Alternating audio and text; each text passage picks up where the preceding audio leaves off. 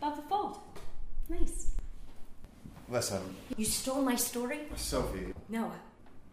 You took my story to Mark behind my back? you asked for my help. We did those interviews together. I asked for your help because I was knocking on doors in West Baltimore.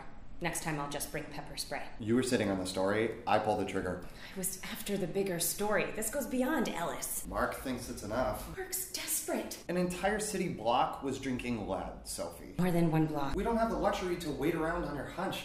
People deserve the facts, The complete facts. which I gave them. Yeah. You're a real hero, Noah. You had the ball when you hesitated. I won't apologize for running it up the gut. You've tipped off whoever Ellis works for. Now they'll cover their tracks. You're not scoring a touchdown. You're throwing a pick six.